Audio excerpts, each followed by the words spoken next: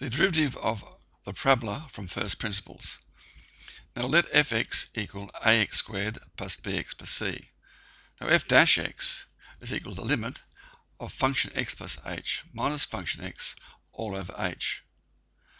Now simply by replacing the x with x plus h in here, I get a outside of x plus h all squared plus b outside of x plus h plus c. Now the next step is we're going to expand this all out and collect like terms. And you can see this is what I've done here.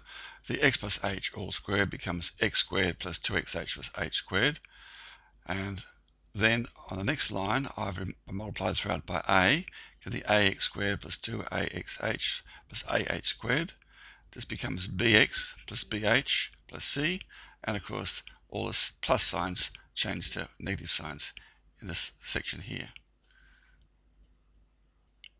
Alright, now after collecting like terms here, you'll notice that the ax squared, this one here, goes out with this one, the bx goes out with this one, and the c goes out with that one, and that leaves us with 2axh plus ah squared plus bh. And the next line, what I've done, I've taken out h, this h here is a common factor, there it goes there. Course now you can cancel the h's, and you simply get the limit of 2ax plus ah plus b.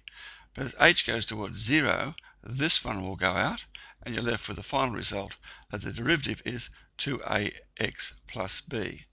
Now, an interesting result with all this is that if you let f dash x equals 0, now what happens is that, say we take a parabola like that, or like that, okay, that's f dash x equals 0, right? So we let that equal 0.